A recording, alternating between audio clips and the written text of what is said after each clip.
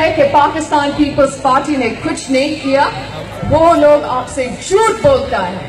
لیاری ہو، کراچی ہو یا پورا سندھ ہو، جتنا بھی کام ہوئے ہیں ترقی ہوئی ہے۔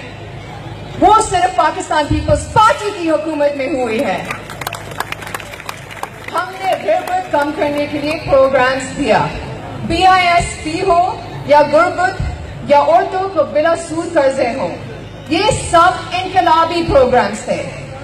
ہم نے سکولز یونیورسٹیز بنائے ہاسپٹلز بنائے روڈز اور انفراسٹرکچر کو بہتر کیا۔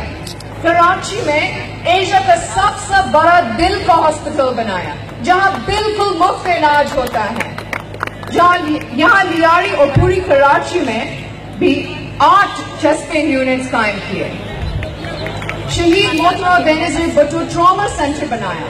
جہاں بالکل مفت علاج ہوتا ہے۔ ہاں ہمیں اور کام کرنا ہے۔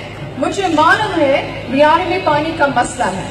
چیئرمین بلاول بٹو زداری نے کہا ہے کہ اگر سمندر کا پانی کو بھی میٹر کرنا پڑا تو وہ کریں گے۔ مگر آپ کو پانی ضرور ملے گا۔